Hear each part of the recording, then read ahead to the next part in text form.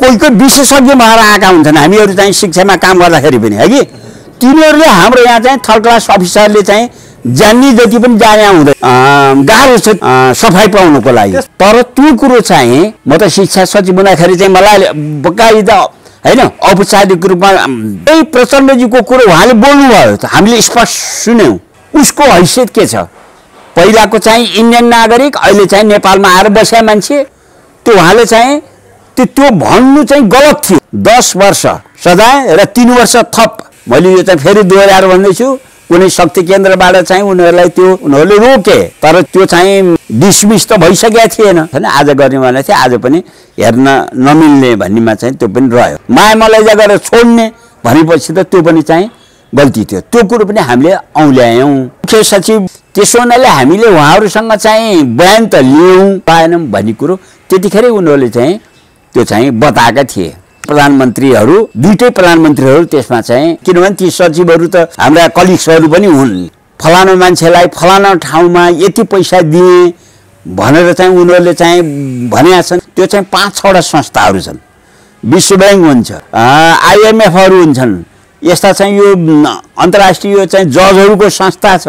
संस्थाहरूले उनीहरूका प्रतिनिधि यहाँ हुन्छन्। संयुक्त राष्ट्र सङ्घीय कार्यालयहरू तिनीहरू मार्फत बुझेर डाटाहरूको विश्लेषण गरेर उनीहरूले चाहिँ रिजल्ट निकाल्ने हुन्। त्यतिखेर त के गरेका थियो भन भनेदेखिलाई हामीले मैले म अध्यक्ष हुँदाखेरि यी सबै कुरामा चाहिँ कारवाही गर्नको लागि प्रधानमन्त्रीलाई चाहिँ यो चाहिँ ललिता निवासको जग्गादेखि लिएर भवनहरूदेखि लिएर तर त्यहाँ चाहिँ के देखियो भने दुईवटा चाहिँ डिफेक्ट हामीहरूले देख्यौँ। म चाहिँ उम्, ट्रान्सप्यारेन्सीको अध्यक्षको नाताले। हाम्रो यहाँ चाहिँ कस्तो प्रचलन छ भने एउटा चाहिँ गोरो छाला भएको चाहिँ अमेरिकन अथवा चाहिँ कुनै युरोपियन आयो भने त्यो चाहिँ सम्पूर्ण चाहिँ अमेरिका र चाहिँ युरोपको प्रतिनिधित्व गर्छ सम्पूर्ण ज्ञाता त्यही हो भन्ने हामीले चाहिँ दिमागमा पाल्छौँ। होइन?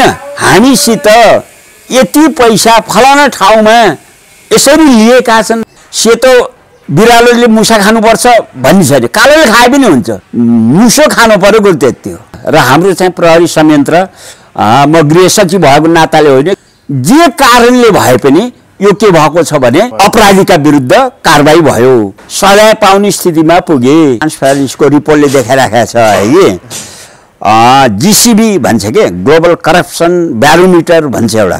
हो उहाँको नामै लेखेर नामै किटेर यहाँलाई स्वागत छ। धन्यवाद छ।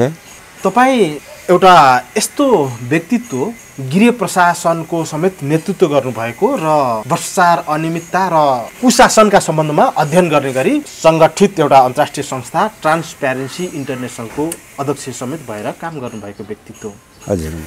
पछिल्लो समय नेपालमा विभिन्न विषयहरू सतहमा आएका छन्। ती दृश्यहरू जस्तो भुटानी शरणार्थी प्रकरण त्यस पछाडि ललिता निवासको सरकारी जग्गा कृत्य सम्बन्धी भ्रष्टाचार सम्बन्धीका प्रकरणहरू पशुपतिनाथमा राखिएको जलहारी लगायतका विषयहरूमा चर्चा परिचर्चा हुने गरेको छ। यसलाई लिएर राजनीति त सिद्धिएको रहेछ कर्मचारीहरू सबै घुसिया नै रहेछन् देश त सिद्ध्याएका रहेछन् भन्ने एउटा तब्काको निराशाजनक बुझाइ छ भनेदेखि अर्को तब्का यस्तो पनि छ। देशमा कुशासन र भ्रष्टाचार त रहेछ तर सुशासनको सानो दियो चाहिँ बल्यो है भनेर आशा जगाउने र अलिकति विश्वास लिने समूह पनि छ। यहाँ कसरी लिनुहुन्छ यो घटनालाई? अनि यस पछाडि हामी ती भित्री विषयहरूमा चर्चा गर्नेछौँ। प्रवेश गरौँ हुन्छ धन्यवाद छ।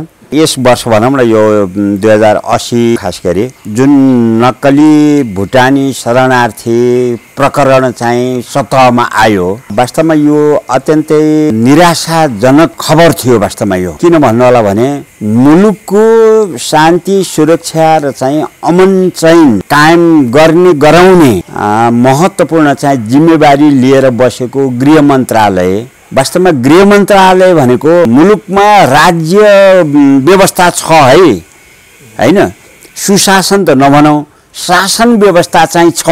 शासन व्यवस्था भन्नाले कानुनले काम गरेका छ भन्ने हो त्यो चाहिँ होइन? त्यो अनुभूति दिलाउने मन्त्रालय भनेको वास्तवमा गृह मन्त्रालय हो। त्यही गृह मन्त्रालयका मन्त्रीहरू सचिवहरू र अन्य कर्मचारीहरू पनि बिचौलिया दलालहरूसँग मिलेर नेपाली नागरिकहरूलाई नक्कली भुटानी शरणार्थी बनाएर विदेश पठाउने प्रलोभन दिएर उनीहरूको चाहिँ घरखेत गरेर पैसा उठाउनु लिनु खानु गर्नु वास्तवमा यो चाहिँ जघन्य कुकृत्य हो जघन्य अपराध हो। अब हामी पनि गृह सचिव भयो जिल्लामा चाहिँ प्रमुख जिल्ला अधिकारी भएर पनि काम गरियो कयौँ जिल्लाहरूमा होइन? वास्तवमा चाहिँ जिल्ला सरकार भनेकै प्रमुख जिल्ला अधिकारी हुन्थ्यो। र केन्द्रमा पनि त्यही हो। तपाईँले यसो हेर्नुभयो भने कि प्रधानमन्त्रीकै चाहिँ होइन को भयो फलानु मुलुकको भन्ने हुन्छ गृहमन्त्री को भयो रक्षा मन्त्री को भयो परराष्ट्र मन्त्री यी चारवटा चाहिँ शक्तिशाली मन्त्रालय चाहिँ ठानिन्छ नि रक्षा मन्त्रालय। गृह सचिव भन भनिसकेपछि त्यो वास्तवमा मुलुकवासीहरूको इच्छा आकाङ्क्षालाई सम्बोधन गर्न सक्ने मान्छे चाहिँ हुनुपर्ने हो। तर यहाँ त के देखियो भनेदेखिलाई चाहिँ गृह सचिव स्वयंले दलालहरूसँग मिलेर मन्त्री कहाँ दलालले दिएका चाहिँ रिश्वतहरू पुर्याउने भनौँ भनेपछि यो चाहिँ अत्यन्तै निन्दनीय चाहिँ काम थियो। अब यसलाई चाहिँ दुर्भाग्यवश भनौँ कि अथवा चाहिँ एउटा चाहिँ आशाको दियो तपाईँले अहिले भन्नुभयो प्रहरी संयन्त्रले त्यो चाहिँ ठगीमा पर्ने। यो त वास्तवमा एउटा चाहिँ मानव बेच बिखन विरुद्धको अपराध हो यो चाहिँ है कि? त्यस्तो काममा संलग्न गराइएका व्यक्तमाले ठिक पारिएका लाखौँ रुपियाँ चाहिँ असुल पर गरिएका त्यस्ता व्यक्तिहरूको चाहिँ उजुरीलाई चाहिँ आधार मानेर त्यसमा संलग्न सबै व्यक्तिहरूलाई चाहिँ अनुसन्धानको दायरामा ल्याएर प्रक्रिया अगाडि बढाउँदै गयो। गर्दै गर्दै उनीहरूले अनुसन्धान गर्दै जाँदाखेरि जो जो तानिन्छन् ती सबैलाई अनुसन्धानको दायराभित्र ल्याउनु भनेको प्रशंसनीय काम गरेका छ। यसलाई हामीले चाहिँ धन्यवाद दिनै पर्ने हुन्छ। र फेरि एउटा कुरा चाहिँ म तपाईँलाई के भनौँ भने प्रहरीले एक्लै यत्र ठुल्ठुला अपराधीहरूलाई चाहिँ कारवाहीको चाहिँ दायरामा ल्याउन सक्ने अवस्था हुँदैन। पूर्व उप प्रधानमन्त्री पूर्व गृहमन्त्री सचिवहरूलाई अनुसन्धानको दायरामा ल्याउनु भनेको निकै कठिन कार्य हो। यस्ता कार्यहरूमा प्रहरीमा चाहिँ सामर्थ्य पनि छ शक्ति पनि छ कानुनले अधिकार पनि दिएको छ। तै पनि के हुन्छ भन्नु होला भने राजनैतिक शक्तिहरूबाट चाहिँ आफू दण्डित भइएला अनाहकमा चाहिँ आफ्नो कर्तव्य निर्वाह गर्दा गर्दै पुरस्कार पाउने ठाउँमा दण्डित भइएला भनेर उनीहरू अलिकति जोगिएर काम गर्ने परिपाटी चाहिँ नेपालमा छ। हालाकि मैले भने वास्तवमा चाहिँ नेपालको प्रहरी संयन्त्र अपराधीहरू पत्ता लगाउन अनुसन्धान गर्न होइन एकाध केसहरूमा बाहेक वास्तवमा चाहिँ निपुण छ कुशल छ र हाम्रो चाहिँ प्रहरी संयन्त्र दक्षिण एसियामै चाहिँ कामयाब प्रहरी संयन्त्र चाहिँ हो। त्यो चाहिँ प्रहरी संयन्त्रलाई ठिक छ तैँले गर। तेरो पछाडि हामी छौँ भनेर राज्य शक्तिले चाहिँ आड भरोसा दिनुपर्छ त्यो। मन्त्री र प्रधानमन्त्री कमसेकम चाहिँ होइन? प्रधानमन्त्रीले नदिकन के हुन्छ भन्नु होला भने अब गृहमन्त्री एक्लैले पनि गर्न सक्दैन। किन भनेर भन्नु होला भने आखिर त गृहमन्त्री भनेको त प्रधानमन्त्री बनायो गृहमन्त्री हो।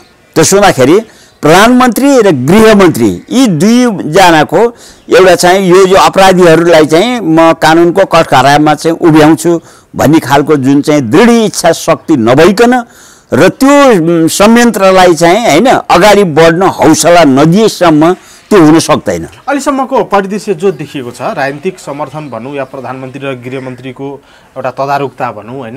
प्रहरीको सक्रियता आँट साहस जो देखिएको छ अहिलेसम्मको परिणाम त्यसले के सङ्केत गर्छ? साँच्चै निष्कर्षसम्म पुग्ला शङ्काको घेरामा रहेका सबैलाई तान्न सक्ने होइन यस्तो छ हो। राख्ला। अब मलाई अब यस्तै प्रश्नहरू अरू धेरै मिडियाहरूले पनि सोध्छन् होइन? यो चाहिँ कुनै राजनीतिक चाहिँ एउटा पपुल्यारिटी चिप पपुल्यारिटी गेन गर्नको लागि अब प्रधानमन्त्री अथवा गृहमन्त्रीले चाहिँ कुनै स्टन्ट गरे त होइनन् भनेर पनि मलाई चाहिँ प्रश्न सोध्छन् होइन? मैले यो चाहिँ किन डिफेन्ड गर्छु भनेर भन्नु होला भने उनीहरू चाहिँ सरकारमा आउन साथ हामी चाहिँ मुलुकमा भ्रष्टाचार नियन्त्रण गर्ने र सुशासन कायम गर्ने होइन? मुलुकलाई एउटा समृद्धिको बाटोतिर लैजाने काममा चाहिँ हामी चाहिँ लाग्छौँ। भनेर जनताको अगाडि उनीहरूले चाहिँ पटक पटक त्यो प्रतिबद्धता व्यक्त गरेको अवस्था चाहिँ छ। अनि त्यसमा पनि मैले के भन्छु भनेर भन्नु होला भने नि चाहे त्यो चिप पपुल्यारिटी गेन गर्ने होइन कारणले होस् चाहे होइन म त मुलुकप्रति जिम्मेवार छु त्यसो हुनाले मुलुकमा चाहिँ होइन सुशासन कायम गर्नको लागि चाहिँ भ्रष्टाचारीहरूलाई कारवाही गर्नै पर्छ र एउटा चाहिँ नमुना देखाउनु पर्छ भनेर चाहिँ शुद्ध मनले भएकै होस् होइन? अथवा कहिलेकाहीँ कस्तो हुन्छ भन्नु होला भने यी मेरा चाहिँ प्रतिपक्षहरू हुन् यिनीहरूलाई म ठेगाना ल्याउँछु देखाइदिन्छु भन्ने हिसाबले किन नहोस्? जे कारणले भए पनि यो के भएको छ भने अपराधीका विरुद्ध कारवाही अपराधीका विरुद्ध कारवाही भयो। यसले के हुन्छ भने अपराधीहरूले सजाय पाउने स्थितिमा पुगे।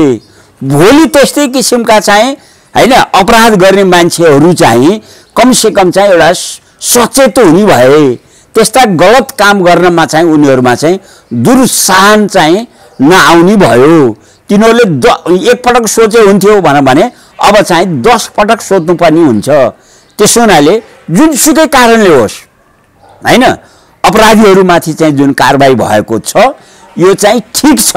भन्ने भयो सेतो बिरालोले मुसा खानुपर्छ भन्ने छैन कालोले खाए पनि हुन्छ।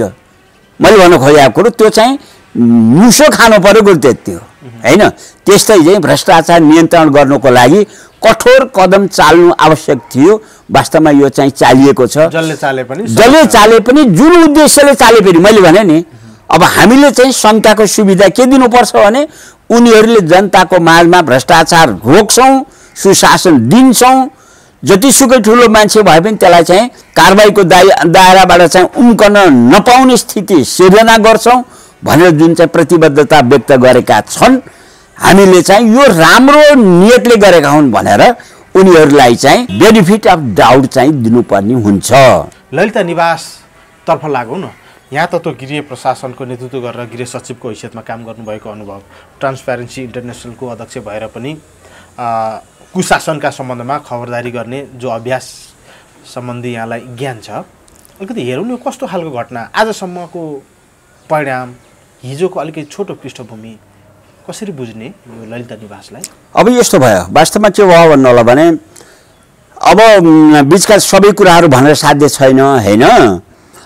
अब यो के भयो भने नेपालमा चाहिँ प्रजातन्त्र आइसकेपछि हिजो पञ्चायत व्यवस्थाले राष्ट्रिय तत्त्व भनेर होइन जो जो मान्छेलाई राजनीतिक कारणले लखेटिएका थिए र उनीहरूको चाहिँ सम्पत्ति अपहरण भएको थियो अथवा जफत भएको थियो भनौँ न होइन सम्पत्ति जायज यथा चाहिँ भएको थियो त्यसलाई प्रजातन्त्र आइसकेपछि किसुनजीको पालामा त्यही कारणले गर्दाखेरि जसको सम्पत्ति चाहिँ जफत भएको थियो होइन राजनीतिक कारणले।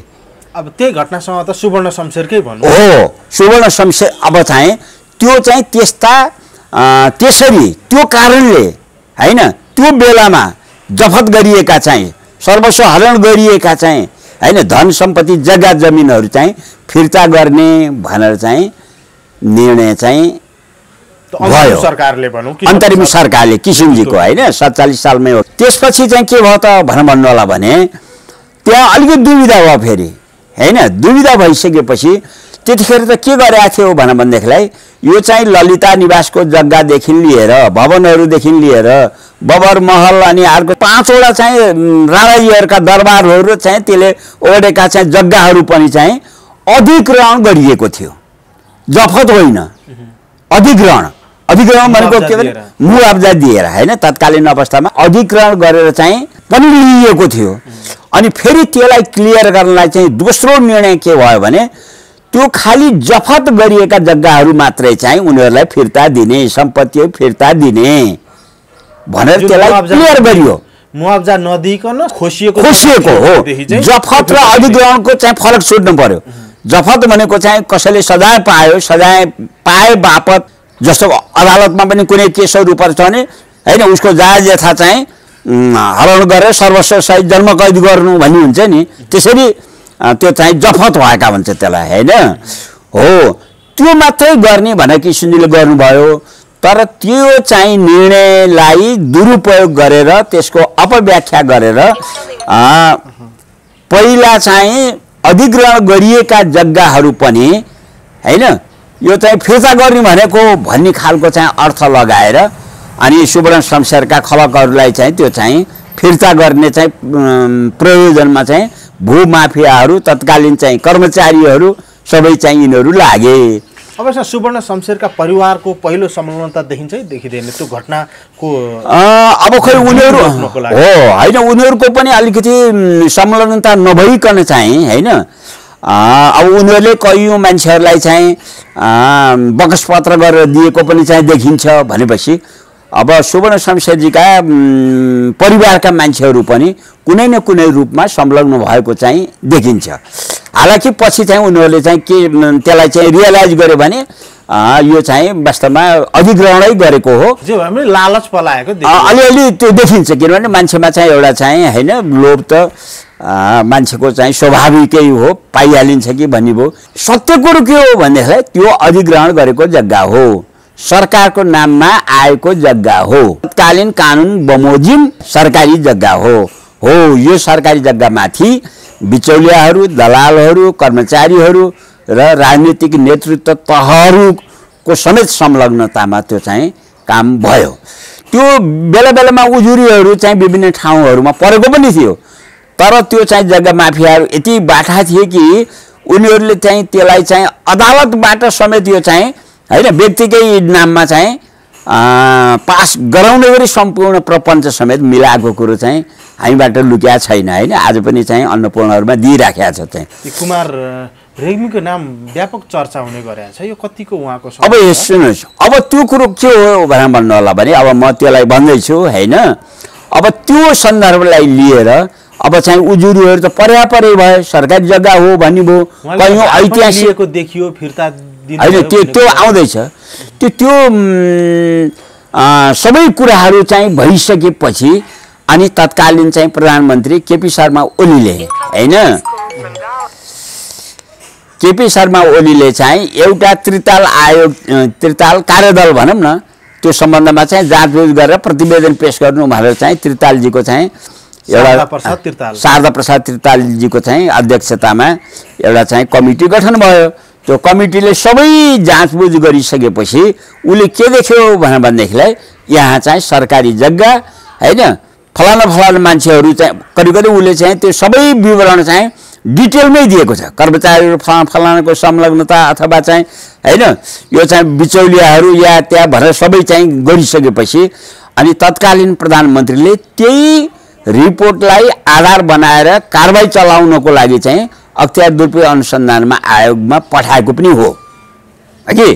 पठाएको हो अख्तियार दुरुपयोग अनुसन्धान आयोगले थप अनुसन्धान गर्यो गर्यो र चाहिँ विभिन्न मानिसहरूलाई चाहिँ मुद्दा चलायो। अब त्यो कुरोसम्म चाहिँ हामीले चाहिँ तत्कालीन प्रधानमन्त्रीले यो चाहिँ राम्रै काम गर्नुभयो है भन्ने भयो किनभने तत्कालीन उप प्रधानमन्त्रीदेखि लिएर होइन मन्त्रीहरूदेखि लिएर सचिवहरूदेखि लिएर उनीहरू भिआइपीहरू हुन् नि त्यो त वास्तवमा तत्कालीन अवस्थामा चाहिँ अहिले पनि उनीहरूलाई समय चाहिँ भ्रष्टाचारको मुद्दा चलायो। वास्तवमा यो एउटा चाहिँ प्रशंसनीय काम गर्यो भन्ने कुराहरू भयो।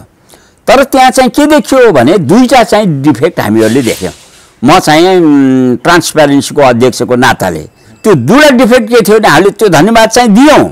राम्रो गर्यो सरकारले साहसी काम गर्यो भन्ने भयो। तर दुईवटा डिफेक्ट के थियो भन्नु होला भने एउटा कुरो चाहिँ तत्कालीन त्यो निर्णय गर्ने सरकारी जग्गा कुनै नक्कली मोहीको चाहिँ होइन व्यक्तिगत नाममा पठाउने अनि त्यो चाहिँ साटफेरको नाममा चाहिँ सरकारी जग्गा चाहिँ दिएर व्यवस्था मिलाउने काम चाहिँ कहाँबाट भयो त भनेर भन्दाखेरि त्यो चाहिँ क्याबिनेटबाट भएको छ। बुझ्नु भएन क्याबिनेटमा भनौँ न तत्कालीन प्रधानमन्त्रीहरू दुइटै प्रधानमन्त्रीहरू त्यसमा चाहिँ संलग्न भएको चाहिँ देखिन्छ। दुईपटकको चाहिँ क्याबिनेट दुइटै हुनाले डाक्टर बाबुराम भट्टराई भट्टराईजी र चाहिँ माधव कुमार नेपालजी त्यसमा संलग्न हुनुहुन्छ। अब उहाँले के गर्नुभयो भनेदेखिलाई चाहिँ तत्कालीन चाहिँ अख्तियार दुरुपयोग अनुसन्धान आएका प्रमुखहरू भनौँ उहाँहरूले क्याबिनेटबाट गरेको डिसिजन चाहिँ यो चाहिँ नीतिगत निर्णय हुने भनेर अख्तियारको चाहिँ ऐनमा त्यो व्यवस्था छ। त्यसो हुनाले हामीले उहाँहरूसँग चाहिँ बयान त लियौँ दुवैजनासँग तर यो चाहिँ ऐनले हाम्रो क्षेत्राधिकारभित्र नपर्ने हुनाले हामीले उहाँहरूमाथि कारवाही चलाएनौँ भन्ने कुरो त्यतिखेरै उनीहरूले चाहिँ त्यो चाहिँ बताएका थिए। त्यसमा हाम्रो के रिजर्भेसन थियो? त्यसमा हाम्रो चाहिँ के थियो भनाइ भनौँ भने सरकारी जग्गा एक त मोही नै लाग्दैन। मोही खडा गर्ने फलानुलाई चाहिँ त मोही भइस भनेर चाहिँ कायम गरिदिने। सरकारी जग्गामा कहिल्यै मोही लाग्छ मोही लाग्दैन। भनेपछि सरासर यो सरासर पहिलो दृष्टिमै त्यो गलत काम। भयो होइन?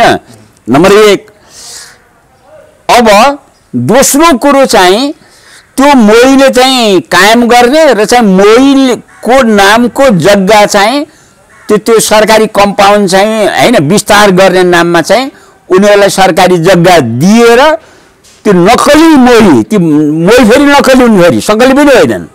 नक्कली मोही चाहिँ त्यो चाहिँ दलालहरूले भूमाफियाहरूले मिलाएका नक्कलीहरू हुन् होइन?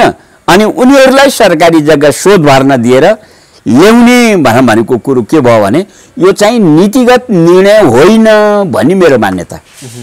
गर्नको लागि हो। त्यो चाहिँ क्याबिनेटमा लगेर निर्णय गराएपछि अनि त्यो चाहिँ भ्रष्टाचारको कारबाहीबाट जोगिन्छ भन्ने खालले त्यो सबै भूमाफिया र दलालहरू र कर्मचारीहरूको म, साँठगाँठबाट त्यो चाहिँ होइन क्याबिनेटबाट पास गराइसकेपछि सबै ठाउँबाट उन्मुक्ति भयो मुख्य सचिवले पनि त परामर्श दिन्थ्यो होला नि प्रधानमन्त्री। अब यस्तो छ मुख्य सचिव तत्कालीन चाहिँ अब जस्तो भनौँ त्यो यो आवास मन्त्री भनौँ होइन? आवास सचिवहरू मुख्य सचिव अनि भूमि सुधार मन्त्री सचिवहरूलाई चाहिँ तत्कालीन प्रधानमन्त्रीले चाहिँ आफ्नै क्वार्टरमा बोलाएर यो जसरी पनि गर्नु पऱ्यो यो काम चाहिँ तपाईँहरूले चाहिँ फत्ते गर्नुहोस्।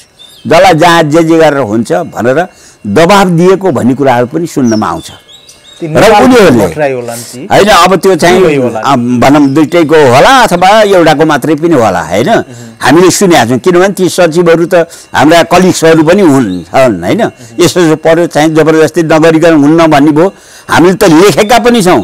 प्रधानमन्त्रीको निर्देशानुसार यो चाहिँ फाइल उठाएर पेस गरेका छौँ भनेर भन्ने पनि छन्। त्यसो हुनाले तह त्यो त्यहाँसम्म थियो। हो हो त्यसो हुनाले मेरो भनाइ के भने त्यो चाहिँ नीतिगत निर्णय नै थिएन।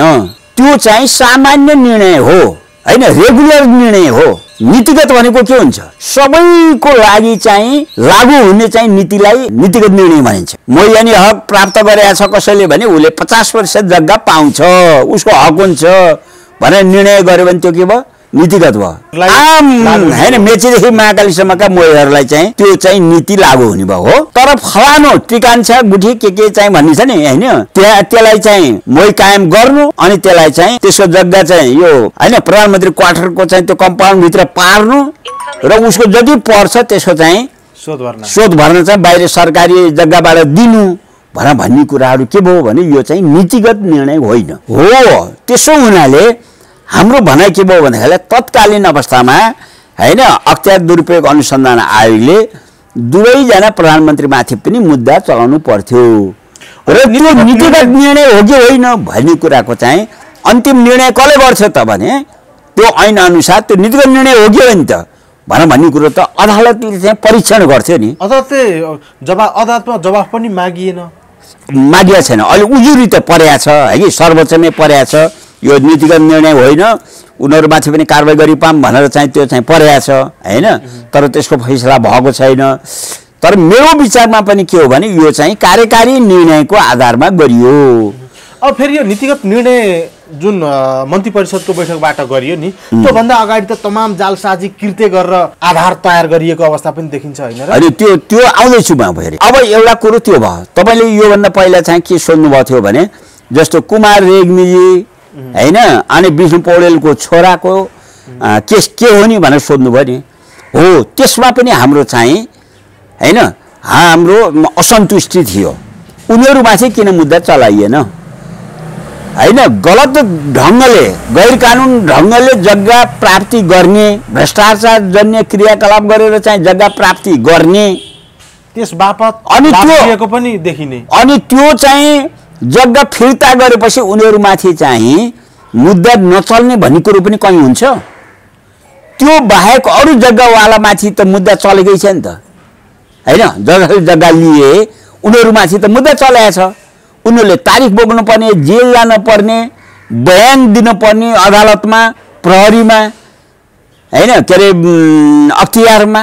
तर उनीहरूले किन नपर्ने? यो चाहिँ समान व्यवहार भएन। भनेपछि यहाँ के भयो भने त्यहाँ चाहिँ पक्षपातपूर्ण व्यवहार भयो। किन यसो भयो हो त्यो चाहिँ के भने राज्य शक्तिको चाहिँ आशीर्वाद प्राप्त गरेपछि उनीहरूले चाहिँ सुरक्षा प्रदान गरेपछि अख्तियार पनि के भयो भन्नाले यिनीहरूलाई छोडिदे भनेर कसैले कुनै चाहिँ शक्तिले भन्यो भने होइन उसले हार्न नसक्ने चाहिँ शक्ति होला। उसले भन्या भरा उनीहरूलाई चाहिँ मुद्दा चलाइएन।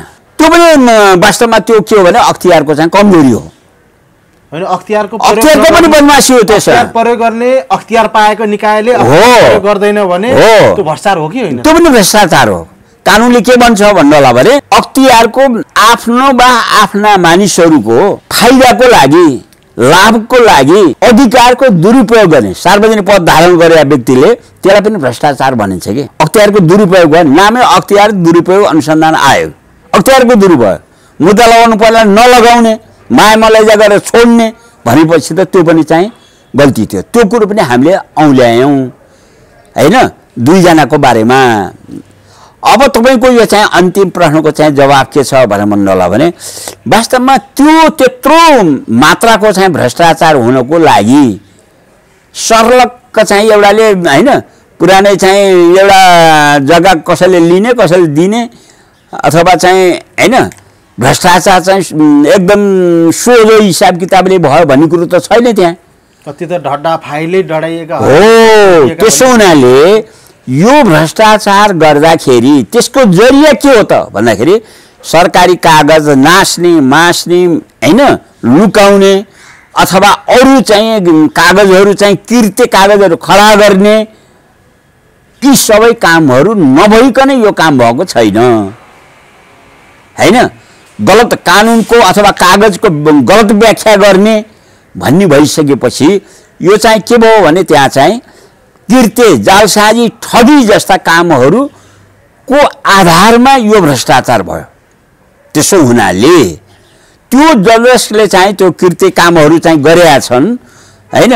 जुन तल चाहिँ त्यो कार्यालय सहयोगीदेखि लिएर होला माथि माथि मन्त्रीसम्म उनीहरूले पनि वास्तवमा चाहिँ त्यो कृत्य ठगी जालसाजमा चाहिँ उनीहरूले चाहिँ सहयोग पुर्याएका छन् भने उनीहरूमाथि पनि के हुनु पर्यो त? कृत्य जालसाजको चाहिँ मुद्दा चाहिँ चलाउनु पर्यो। वास्तवमा यो के थियो भन्नु होला भने यो समानान्तर हिसाबले जानु पर्थ्यो। एकातिर भ्रष्टाचारको मुद्दा अर्कोतिर यो चाहिँ कृत्य जालसाजको मुद्दा प्रहरीले चलाउने हो त्यो फेरि। त्यस्तो दुई हजार छिहत्तर सालमा भ्रष्टाचारको पनि ल्याङफ्याङ्गे मुद्दा सुरु भयो। अनि प्रहरीले पनि भर्खरै मात्र यो कृत्य जालसाजी ठगीको मुद्दा सुरु गरेको छ। सँगसँगै पनि गएन र व्यवस्थित हो मैले भन्नु खोजेको कुरो त्यतिखेर चाहिँ सँगसँगै करिब करिब सँगसँगै जस्तो चाहिँ यतापट्टि पनि अनुसन्धान भएको थियो। प्रहरीले सिआइबीले पनि त्यसको अनुसन्धान गरेको थियो कृत्य जालसाजीमा होइन? उसले चाहिँ मुद्दा दायर गर्नु भनेर सरकारी वकिलसम्म पुर्याएको र सरकारी वकिलले चाहिँ अझ राम्रोसँग अनुसन्धान पुगेको छैन भनेर फिर्ता गरियो। त्यो चाहिँ असल नियतले चाहिँ पठाइएको थियो अथवा कसैको कर काप शक्तिको चाहिँ दबावका भरमा चाहिँ त्यो चाहिँ फिर्ता गरिएको थियो अब त्यो कुराहरू अनुसन्धानकै विषय होला भनौँ भोलि? आशंका गर्नलाई त्यो त दुई वर्ष अगाडि फिर्ता पठाएको फाइल यत्रो बिचमा त फेरि दर्ता भइसक्नु पर्थ्यो नि त किन भएन हो नि?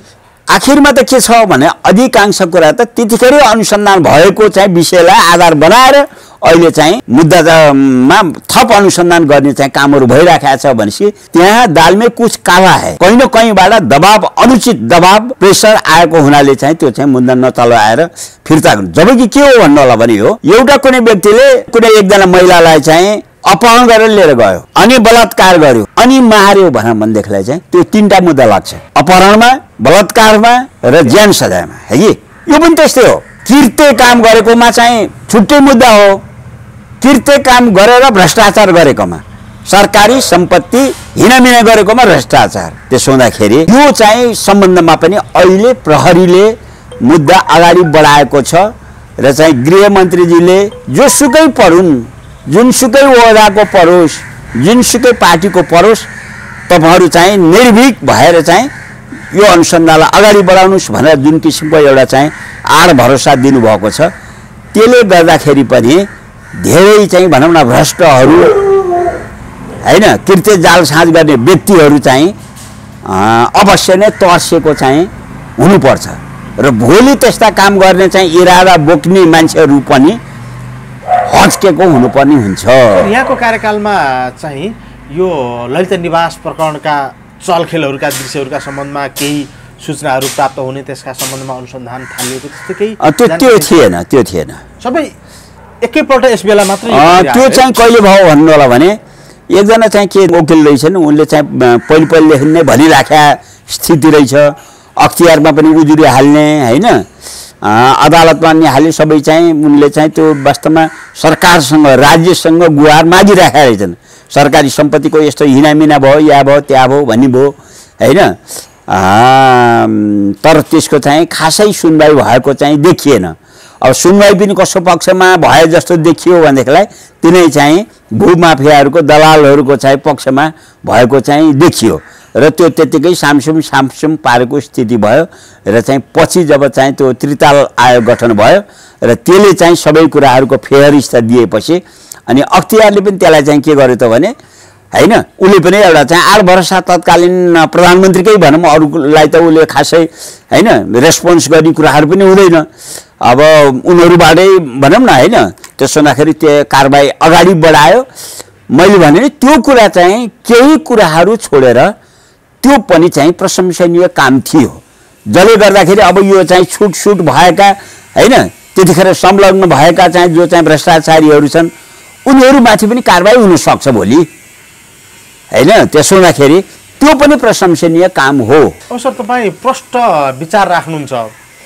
यस्तै आपराधिक प्रवृत्तिका विरुद्ध त यहाँले अनुगमन पनि गर्नुभयो नि ट्रान्सप्यारेन्सी इन्टरनेसनल रहँदाखेरि त्योभन्दा। अगाडि त गृह प्रशासनकै सचिव भएर काम गर्दाखेरि अझ बढी अनुभव भएकै छ। पूर्व गृह सचिव अहिले अख्तियार दुरुपयोग अनुसन्धान आयोगका प्रमुख आयुक्त प्रेम कुमार राईलाई भुटानी शरणार्थी प्रकरणमा कहीँ कतै शङ्काको घेरामा रहने प्रवृत्तिका सूचनाहरू बाहिर आएका थिए। है। सत्यलाई त सत्य मान्नु अनि यस बेला उनै अख्तियार दुरुपयोग अनुसन्धान आयोगका प्रमुख आयुक्त रहेका छन्।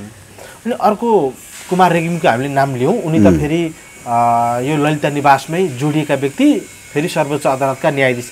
यस्तो हुँदाखेरि अन्तिम न्यायालय भनेको सर्वोच्च अदालत होइन? एक तहको भ्रष्टाचार सम्बन्धमा मुद्दा दर्ता गर्ने प्रमाण सङ्कलन गर्ने प्रस्तुत गर्ने अख्तियार दुरुपयोग अनुसन्धान आयोग। यी पात्रहरूको उपस्थितिले कहीँ कतै यो मुद्दालाई कमजोर या विषयान्तर गर्ने या चाहिँ जुन निष्कर्षमा पुग्नु पर्ने हो जति परिधि ढाक्नु पर्थ्यो जति गहिराइमा पुग्नु पर्थ्यो प्रभाव पार्छ कि पार्दैन? के भन्नुहुन्छ? मैले त्यसले कुराले चाहिँ खासै प्रभाव पार्ला जस्तो चाहिँ त मलाई लाग्दैन। किन लाग्दैन भने जस्तो अख्तियारले चाहिँ उनीहरूमाथि पनि कारवाही चलाउनु पर्थ्यो भनेर मैले चाहिँ पहिले भनिसकेँ होइन? अब त्यो कुरो चाहिँ फेरि उसले चाहिँ दोहोऱ्याएर चाहिँ कारवाही चलाउँछै चलाउँदैन त्यो उसको कुरो भयो। तर जुन चाहिँ भनौँ न तपाईँले चाहिँ यो भुटानी शरणार्थी सम्बन्धको अनुसन्धानलाई लिएर होइन फलाना फलाना व्यक्तिहरूमाथि पनि त त्यो चाहिँ अभियुक्तहरूले चाहिँ होइन पोलेका छन्। फलाना मान्छेलाई फलाना ठाउँमा यति पैसा दिए भनेर चाहिँ उनीहरूले चाहिँ भनेका छन् भन्ने कुरामा मेरो प्रहरीसँग चाहिँ गुनासो अलिकता त्यहाँ छ। त्यहाँ छ। यति प्रशंसा गर्दा गर्दै पनि त्यहाँ किन चाहिँ प्रहरीले चाहिँ साहस गर्न सकेन भन्ने कुरामा मेरो चाहिँ प्रश्न चाहिँ छ। कुरो के हो त भन भन्नु होला भने नि तपाईँले मैले कुरा गरे चाहिँ कहीँ टेप आयो भने त्यो भरा चाहिँ त्यति प्रमाणिक हुँदैन। एउटा कुनै क भन्ने व्यक्तिको बारेमा ख र गले आफू कुरा गरेको कुरालाई चाहिँ त्यो त्यति प्रमाणिक हुँदैन त्यो। हालाकि प्रहरीले कहिलेकाहीँ त्यो पनि गरेका हुन्छ। पोल्यो भने त्यसलाई ल्याएर गरिहाले हुन्छ। तर यहाँ त के गरेका छ भनेर भन्नु होला भने नि होइन? उनीहरूले कुनै त्यो चाहिँ टेप सेपमा भएका कुराहरू होइन त्यो चाहिँ। कुनै चाहिँ यो त के भने कानुनले आधिकारिक व्यक्ति भनेर चाहिँ चिनेका प्रहरीहरू सरकारी वकिलहरू उनीहरूको अगाडि फलाना फलाना मान्छेले होइन? हामीसित यति पैसा फलाना ठाउँमा यसरी लिएका छन् भनेर भनिसकेपछि वास्तवमा उनीहरूलाई अनुसन्धानको दायरामा ल्याइनु पर्थ्यो। अब यो भित्र को को आउँथ्यो अब तपाईँले चाहिँ होइन? तपाईँको प्रश्नले त्यहाँ यो यो कुरा चाहिँ समेट्छ यो चाहिँ। उनीहरूले गर्नुपर्थ्यो त्यो चाहिँ। किन गरेन भन्ने चाहिँ मेरो प्रहरीसँग चाहिँ यो यो प्रश्न छ। है कि? तपाईँको प्रश्नमा अलिकति प्रश्न जोडेँ। प्रहरीले पहिलो चरणमा जो गिरफ्तार गर्यो नि भागवटनी सुपर मार्केटका मालिक सहितको समूहलाई अनि मालपोतका हाकिम र अधिकृतहरूले चाहिँ हातमा चाहिँ अदालतको आदेश लिएर बसेको अवस्था। दस बजे प्रहरी पुग्दाखेरि दसै बजे उनीहरूको हातमा अदालतको त्यो आदेश हातमा रहनुको अगाडि प्रहरीले पहिले नै सूचना दियो। या अदालतका अधिकारीहरू चाहिँ अघिल्लो दिनदेखि नै फलानाहरूलाई पक्राउने छ भनेर चाहिँ जानकार रहेका र पहिले नै त्यो लेखेर पत्र पठाएका थिए। अलिकति यो के हो शङ्का होइन यो यस्तो अब त्यो विषयान्तर भए मैले तपाईँलाई पहिला चाहिँ यो चाहिँ भुटानी शरणार्थी काण्डको बारेमा भन्दै थिएँ होइन? त्यो त्यो ललिता पक्ष भयो। हो, यो ललिता निवास हो हो। यो ललिता निवासको यो के छ भने मैले तपाईँलाई अघि नै भने नि डेढ वर्ष अगाडिदेखि नै समानान्तर रूपमा चाहिँ यताबाट पनि अनुसन्धान भइराखेको थियो। होइन अख्तियारले पनि कारवाही चलाइराखेको थियो। त्यसो हुनाले त्यही बेलामा उनीहरू पनि अब चाहिँ प्रमुख होइन? प्रतिवादी त उनीहरू हुन्।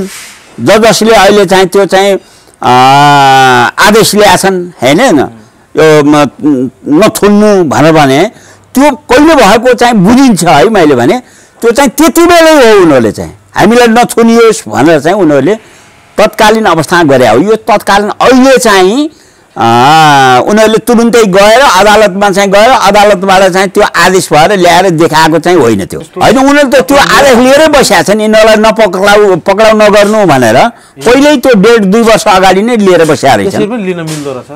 होइन त्यतिखेर त उनीहरूलाई नि पक्रेर कारवाही गर्न सक्ने सम्भावना त प्रबल थियो नि त। त्यो आदेशले उनीहरू अब पक्राउनु नपर्ने। कुनले अब त्यो चाहिँ अ, होइन, हो। हाकिम र ती अधिकृतहरू छन्। होइन अब त्यो मुद्दा चलाउनलाई त त्यसले खासै चाहिँ बाधा परेन तर न्याय- न्यायिक हिरासतमा राखेर न्यायिक हिरासतमा राखेर प्रक्रिया होला होला, होइन? चलखेल गर्ने हो हो अब जस्तो अहिले होला। केही चाहिँ तिनजना मान्छेहरूले होइन उनीहरूलाई चाहिँ पक्राउ नगर्नु भन्ने खालको चाहिँ गरेका छन् अदालतमा अदालतमा होइन बन्दी प्रत्यक्षकरणको चाहिँ निवेदन दिएर अब त्यो बारेमा चाहिँ अहिलेसम्म निर्णय भएको छैन। आज गर्ने वाला थियो आज पनि हेर्न नमिल्ने भन्नेमा चाहिँ त्यो पनि रह्यो। त्यस हुनाले त्यो चाहिँ पक्राउ गर्नुभन्दा पहिले पुर्जी कसरी ल्याए भन्ने कुराहरू मलाई लागेको कुरा है। होइन पहिले पनि यो चाहिँ मुद्दा चल्न सक्ने प्रबल सम्भावना थियो। तर त्यसलाई चाहिँ मुद्दा दर्ता गर्न दिइएन। नदिएको कारणले गर्दाखेरि होइन थप चाहिँ अनुसन्धान गरेर आउनुहोस् भनेर सरकारी वकिलले भनिदिएको कारणले गर्दाखेरि त्यो त्यत्तिकै थन्किएको थियो। मैले यो चाहिँ फेरि दोहोऱ्याएर भन्दैछु कुनै शक्ति केन्द्रबाट चाहिँ उनीहरूलाई त्यो रोक्ने आदेश भएको होला। उनीहरूले रोके तर त्यस होइन त्यो चाहिँ डिसमिस त भइसकेको थिएन। अहिले जागेर आयो। त्यस हुनाले त्यतिखेरै पनि अब हामीलाई त फेरि यसमा पनि थुनेर कारवाही गर्ने भयो। भन्ने भइसकेर डराएका मान्छेहरूले चाहिँ त्यतिखेरै त्यो पक्राउ नगर्नु भन्ने चाहिँ पूर्जी लिएर चाहिँ बस्या रहेछन् भन्ने प्रमाणित हुन्छ कुरो त्यसो अब हामी अन्त्य गरिदिनुहोस्. यो ट्रान्सप्यारेन्सी इन्टरनेसनल जस्तो जो अन्तर्राष्ट्रिय समुदायहरू छ नेपाललाई हेर्ने दृष्टिकोणमा यो पछिल्ला घटनाहरूले के उनीहरूको मूल्याङ्कन नेपाललाई अझ तल राखेर गर्ने आधार बाहिर आयो या यो कारबाही गरेको दृश्यले चाहिँ नेपाल सुशासनको दिशामा अग्रसर भयो भनेर नेपालको स्तर बढोत्तरी हुन्छ।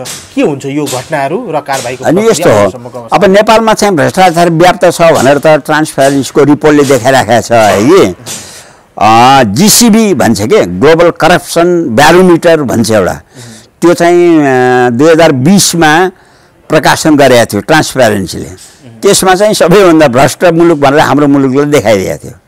र खास गरेर चाहिँ अब तत्कालीन प्रधानमन्त्री होइन उहाँले चाहिँ भ्रष्टाचार गर्दिन गर्न दिन्न शून्य सहनशीलता भनेर त व्यापक चर्चै भयो। चर्चै भयो होइन? हो उहाँको नामै लेखेर नामै किटेर उहाँले चाहिँ भ्रष्टाचार गर्दिन गर्न दिन्न भनेर चाहिँ ठुल्ठुला स्वरले त भन्नुहुन्छ। तर उहाँले चाहिँ आफ्ना करप्टेड चाहिँ होइन कलिग्सहरूलाई चाहिँ संरक्षण गर्नुहुन्छ। भनेर दियो त्यो चाहिँ होइन? अर्थ त भ्रष्टाचारै गर्नु हो। अब संरक्षण गर्नु भनेको त होइन त्यो अब हुन पनि त्यतिखेर त त्यही देखियो हेर्नु चाहिँ होइन? अब जस्तो प्रिन्टिङ प्रेस खरिद काण्डमा चाहिँ सत्तरी करोडको सत्तरी करोडको चाहिँ अडियो त स्पष्टै देखियो नि। त्यो त अख्तियारले चाहेको भए होइन? उसले त त्यो पन्ध्र दिनमा त्यो अनुसन्धान गरेर मुद्दा चलाउन सक्ने अवस्था थियो। त्यो क्यासेट चाहिँ उसको बोली हो कि होइन? भन्ने कुरो चाहिँ विधि विज्ञान प्रयोगशालामा जाँचेपछि हो होइन थाहा भइहाल्थ्यो। अझ प्रहरीकै फोरेन्सिक होला। छ होइन? त्यहाँ जाँचेर मुद्दा चलाएको भए त उनी त के हो भनेदेखिलाई दस करोड होइन सत्तरी करोड भनेपछि त दस वर्ष सजाय र तिन वर्ष थप भनेपछि तेह्र वर्ष सजाय पा- को आधा पाउँथे। किनभने त्यो लिनु दिनु भइसकेका थिएन। उद्योग गरेको भ्रष्टाचार गर्ने उद्योग गरेमा ज्यान मार्ने उद्योग भने जस्तै त्यो पनि भ्रष्टाचार गर्ने उद्योग गरेमा आधा सजाय हुन्छ साढे छ वर्ष तेह्र वर्षको चाहिँ आधा त्यो हुन्थ्यो। तर त्यो के भयो त्यसलाई चाहिँ अख्तियारलाई चाहिँ मुद्दा चलाउनै दिइएन। म भन्छु दिइएन। तत्कालीन होइन राज्य शक्तिले चाहिँ वास्तवमा दिएन। नम्बर एक होइन यो चाहिँ आयल निगमको जग्गा खरिद काण्ड छ। विभिन्न संसद जोडिएको। कुरो। अहिले त उसको अकुत सम्पत्तिमा मुद्दा चल्या हो। तपाईँहरूले यो फरक छुट्याउनु पर्यो। त्यो चाहिँ राज्यलाई चाहिँ ठुलो आर्थिक घाटा पारेर जग्गा किनिया छ त्यहाँ चाहिँ होइन? एक लाख पन्ध्रलाई चार लाख दिएर किनिया छ पाँच लाख दिएर किनिया छ। त्यसमा एक अरब चार करोड रुपियाँ चाहिँ घोटाला भएको छ भ्रष्टाचार भएको छ भनेर अख्तियारले आफैले गरे अनुसन्धानमा पनि छ समितिहरूले चाहिँ गरे अनुसन्धानमा पनि छन् होइन? तर त्यो के गरियो त मुद्दै चलाइयो नि त्यसमा त्यो त्यो त फाइल चाहिँ जाँदा जाँदै नवीन घिमिरेजीले तत्कालीन चाहिँ प्रमुखले त्यसलाई चाहिँ तामेलीमा राखेर जानुभयो। र अरू आयुक्तले हुँदैन हुँदैन यो त एकदम ठुलो भ्रष्टाचारको केस हो यसमा मुद्दा चलाउनै पर्छ भन्दा भन्दै उनले। त्यो पनि के होला? कुनै न कुनै शक्ति केन्द्रबाट चाहिँ ठुलो दबाब आएको कारणले चाहिँ त्यो चाहिँ भएको हुनसक्छ या शक्ति केन्द्रलाई खुसी पार्न। शक्ति केन्द्रलाई खुसी पार्ने है? त्यस्तै ओम्नीको त तपाईँलाई थाहा छ। उहाँ चाहिँ चिनमा चाहिँ करोडौँका सामानहरू पहिल्यै चाहिँ सब प्याकिङ गरेर राख्ने अनि यहाँ नाटक गर्ने चाहिँ ठेक्कापट्टा फलानालाई दिएको भनेर अनि दुई दिनपछि आउने। आउँछ? सयौँ थरीका औषधि र सामानहरू शुक्रबार बेलुकी एघार बजे निर्णय भएछ। होइन? शनिबार र आइतबार सोमबार त यहाँ आइसकेको छ। कसरी भयो? समस्या समाधानका लागि भनेर त्यो नाम हो। गरियो। होइन त्यो नाम हो। आखिर त के रहेछ भने त्यो औषधि अथवा स्वास्थ्य सम्बन्धी सामग्री होइन किन्ने चाहिँ अथवा त्यो ठेक्कापट्टा गरेको अनुभव भएको कम्पनी पनि होइन फेरि त्यो। अर्कै काम गर्ने कम्पनी हो। भनेपछि विशुद्ध खराब नियतबाट प्रेरित भएर मन्त्रीको चाहिँ समुपस्थितिमा मन्त्रीको चाहिँ सल्लाहकारको नेतृत्वमा चाहिँ त्यो ठेक्कापट्टा दिने काम भएको छ। भानुभक्त ढकाल? मन्त्री उहाँ हुनुहुन्थ्यो उहाँको सल्लाहकार को हो थाहा छैन। होइन? हो त्यसो हुनाले यो चाहिँ तमाम दृश्यले त्यस बेला नेपालको स्तर घट्यो। घट्यो। ब्यारोमिटर होइन त्यो पनि घट्यो। त्यसले गर्दाखेरि जम्मै त्यो दियो। पछिल्लो पछिल्लो घटनाहरूले चाहिँ के ब्यारोमिटर अब चाहिँ त्यसो हुनाले त्यसो हुनाले मैले भन्न खोजेको कुरो के हो भने भ्रष्टाचार थिए तर भ्रष्टाचारमा कारवाही हुन थाल्यो भनेपछि सुशासनको लागि थिए, कारबाही भएन। भएन। कारण ब्यारोमिटर तल झऱ्यो। झऱ्यो। होइन अब अहिले कारवाही भयो भनेपछि अब त्यो सुशासनको होइन पथमा अगाडि बढिया छ भनी भएपछि त्यसले चाहिँ केही न केही ग्रेड चाहिँ पाउने स्थिति हुन्छ। अलिकति भए पनि? भए पनि। अनि यो कारबाही प्रक्रिया कसरी चलेको छ? कति विश्वसनीय छ? कति यो तार्किक निष्कर्षतर्फ जाँदैछ भन्ने कुराहरूलाई चाहिँ ट्रान्सप्यारेन्सी इन्टरनेसनलले त्यो कसरी हेर्छ? होइन त्यो यस्तो हुन्छ। त्यो हामी हाम्रो यहाँको चाहिँ निकाली हेर्ने होइन होइन? हामीले त्यसरी हेर्दैनौँ। हामी त खालि के भने भ्रष्टाचार नियन्त्रण गर भनेर चाहिँ खालि सजग गराउने हो चाहिँ। त्यो बारेमा अभियान चलाउने हो होइन? डाटा पनि हामीले कहिलेकाहीँ अनुसन्धान त्यो पनि गर्छौँ होइन? सबभन्दा धेरै भ्रष्टाचार कुन चाहिँ कार्यालयमा छ अथवा भन्ने कुराहरू पनि गर्छौँ होइन? हाम्रो यो चाहिँ इन्टरनल खपतको लागि चाहिँ बाहिर खपतको लागि होइन हामीले चाहिँ बाहिर चाहिँ दिँदैनौँ त्यो चाहिँ। खालि हामी त अभियानमा संलग्न हुने हो। यहाँ यस्ता भ्रष्टाचार भयो भने यो भ्रष्टाचार किन भयो? रोक यसमा यसो गर भन भन्छौँ होइन? हामीले मैले म अध्यक्ष हुँदाखेरि यी सबै कुरामा चाहिँ कारवाही गर्नको लागि प्रधानमन्त्रीलाई चाहिँ पत्र लेख्नेदेखि लिएर प्रेस विज्ञप्ति निकाल्नेदेखि लिएर पत्रकार सम्मेलन गर्नेदेखि लिएर सबै काम गरेका छ है? त्यसो भए म अलिकति टार्गेटेड पनि भएको थिएँ त्यतिखेर चाहिँ। होइन त्यो चाहिँ त्यो के हुन्छ भनेदेखिलाई चाहिँ खराब प्रवृत्ति लिइसकेपछि त त्यसको भण्डाफोर गरिदिनु भयो भने त होइन? उनीहरूले शक्ति ले चाहिँ अब चाहिँ चुनौती खडा गर्न। चुनौती खडा गर्न सक्छन्। तैपनि अब त्यो चुनौती एउटा कुशासनकै मानक होइन हो। वास्तवमा चाहिँ त्यो हो। तर त्यसबाट चाहिँ भनौँ न यो अभियानमा लागेका मान्छेहरू पछि हट्ने कुराहरू चाहिँ हुँदैन। त्यसो हुँदाखेरि अब अहिले चाहिँ के भयो भने कमसेकम सरकारले भ्रष्टाचार नियन्त्रण गर्नुको लागि सुशासन दिनुको लागि होइन अब भ्रष्टाचार गर्ने मानिसहरूलाई हतोत्साहित गर्नुको लागि कारबाहीहरू चल आएको छ भनौँ भनेपछि त्यो चाहिँ केही सुधार हुने लक्षण हुन् भन्ने हिसाबले हाम्रो मूल्याङ्कन अलिकति भए पनि चाहिँ बढ्छ। र यो कुराको चाहिँ एज ए होल मूल्याङ्कन कसले गर्छ त भन्दाखेरि त्यो चाहिँ पाँच छवटा संस्थाहरू छन्। विश्व ब्याङ्क हुन्छ होइन? आइएमएफहरू हुन्छन्। यस्ता चाहिँ यो अन्तर्राष्ट्रिय चाहिँ जजहरूको संस्था छ। यस्ता चाहिँ छवटा सातवटा चाहिँ संस्थाहरूले उनीहरूका प्रतिनिधि यहाँ हुन्छन्। नभए अर्कै संयुक्त राष्ट्रसङ्घीय कुनै कार्यालयहरू छन् भने तिनीहरू मार्फत बुझेर होइन उनीहरूले प्रयोग गरी डाटाहरूको विश्लेषण गरेर उनीहरूले चाहिँ रिजल्ट निकाल्ने हुन्। अनि यहाँ यहाँ जस्तो जो अध्यक्ष एउटा टिम हुन्छ नि ट्रान्सप्यारेन्सी इन्टरनेसनल नेपालको उनीहरूको भूमिका चाहिँ के हुन्छ त्यो नेपालका यी भ्रष्टाचार सम्बन्धी गतिविधिहरूको अनुगमन र डाटा उनीहरूले सङ्कलन गरेको कुरालाई आधार मानेर रिपोर्ट बनाउने होइन? त्यसमा हाम्रो चाहिँ कुनै हात हुँदैन। यहाँहरूले गर्ने भनेको होइन हाम्रो त के हो भन्दाखेरि चाहिँ पब्लिकमा चाहिँ भ्रष्टाचार विरोधी अभियान चलाउने यो कुरो त्यति हो। त्यति हो। त्यति हो। भ्रष्टाचार हुन नदिने भ्रष्टाचार भएको ठाउँमा औँला ठडाइहाल्ने पब्लिकलाई सुसूचित गर्ने होइन? त्यो काम चाहिँ ट्रान्सपेरेन्टले गर्छ। यो कुनै दण्ड सजाय गर्ने अथवा हामी त भनेको जस्तो ट्रान्सप्यारेन्सी इन्टरनेसनल नेपाल जो छ। यसले चाहिँ केन्द्रीय कार्यालयलाई डाटा दिनेहरूले दिँदैनन् त्यो? चाहिँ। त्यो दिँदैनन्।